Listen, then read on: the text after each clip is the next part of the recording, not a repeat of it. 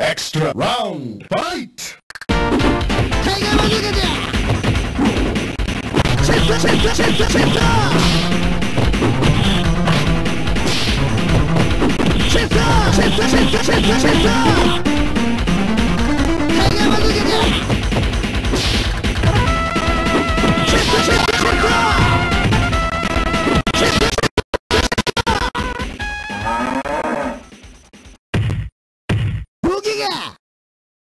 Mizoguchi wins!